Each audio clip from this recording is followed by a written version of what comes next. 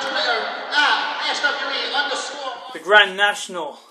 He screwed me over by not having a match ready at Hell for Lycra for my rematch for the Future Divisions Championship. That belt was mine, been taken away from me, and no rematch. And not just that, no match at Hell for Lycra 9 at all. SWE's biggest show, and the Stallion is not in that. So what I'm gonna do, I'm gonna challenge anyone, and I mean anyone who wants to stand toe to toe with Martyn Stallyon.